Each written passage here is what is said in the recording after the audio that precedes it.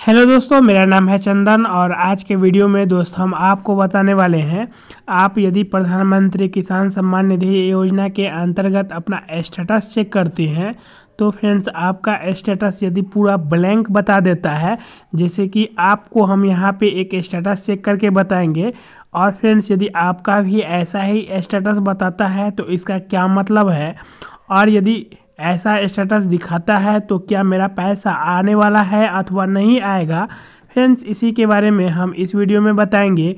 तो चलिए सबसे पहले हम अपना स्टेटस चेक करते हैं। इसके लिए फ्रेंड्स आपको यहाँ पे किसान कॉर्नर के ऊपर क्लिक करना होगा और जैसे ही इस पर क्लिक करेंगे, यहाँ पे फ्रेंड्स आपको बेनिफिशरी स्टेटस पर क्लिक करना होगा।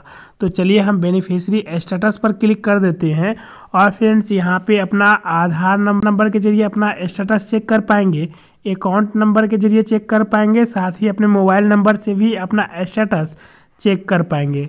तो चलिए हम मोबाइल नंबर को सिलेक्ट कर लेते हैं। और फ्रेंड्स यहाँ पे अपना मोबाइल नंबर इंटर करने के बाद गेट डाटा पर क्लिक करेंगे। तो चलिए हम अपना मोबाइल नंबर एंटर कर देते हैं। गेट डाटा पर क्लिक करते हैं तो फ्रेंड्स आप देखते हैं यहाँ पे आपका सारा चीज़ ब्लैंक दिखाई देता है। तो फ्रेंड्स यहाँ पे सारा चीज़ आपका ब्लैंक दिखाई देता है, इसका क्या मतलब है? दोस्त, इसका मतलब ये है कि आपका डाटा अभी पी एफ़ एम एस पर अपडेट नहीं किया गया है, परंतु आपका आवेदन वहाँ तक पहुँच गया है। फ्रेंड्स, आपका आवेदन भारत सरकार के पास पहुँच चुका है परंतु इसे पोर्टल पर अभी अपडेट नहीं किया गया है। आपको फ्रेंड्स, कुछ समय, लगभग एक महीना के आसपास इंतज़ार करना होगा और उसके बाद फ्रेंड्स, आप देखेंगे यहाँ पे आपका सारा डिटेल शो होने लगेगा।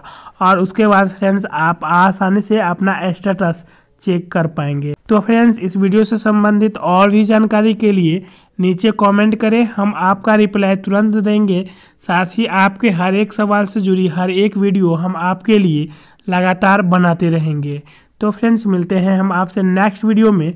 तब तक के लिए गुड बाय